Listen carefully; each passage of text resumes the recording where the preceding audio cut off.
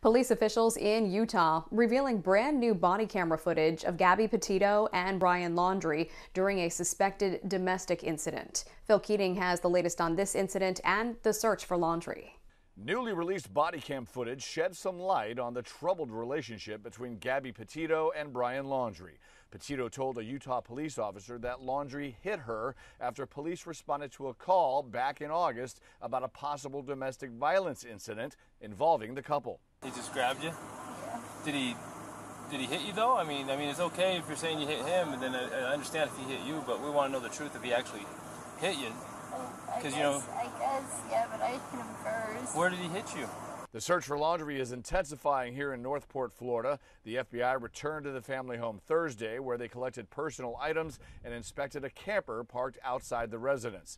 An attorney representing the Laundrie family told Fox News the evidence will assist canines during the FBI's ongoing investigation. Meanwhile, TV celebrity Duane Chapman, aka Dog the Bounty Hunter says he has received thousands of tips as he focuses his search on a state park in Tampa Bay where the family camped out in early September. So these dogs are incredible. They went through all this.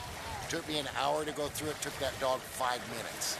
So that really helps. Some say the presence of a high profile figure like Chapman may be beneficial in the search for Laundrie. His notoriety, uh, he's got a name and you know, people get drawn to that stuff and may, you know, give him information. The FBI is now in possession of a cell phone purchased by Brian Laundrie in the days before his disappearance. Laundrie's attorney says this was not a burner phone that are untraceable, but one registered with AT&T. In North Port, Florida, Phil Keating, Fox News.